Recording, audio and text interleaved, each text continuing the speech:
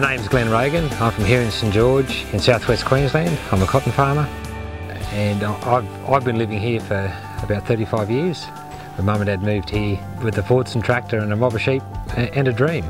And I'm hoping that my children will have the same passion for farming as we have. As Australian cotton farmers we've been focused on quality for, for as long as I can remember. Um, we've had a particular focus in the last five years of, of the premium cotton right at the right, right at the premium level and to be an Australian cotton farmer exceeds the cotton that is grown um, in most other countries around the world. Yeah, here we um, carry out sustainable farming practices. Uh, we're focused on minimising our carbon footprint. I'm sure you love these Dri Glo towels, grown using Australia's premium quality cotton, grown right here in my backyard.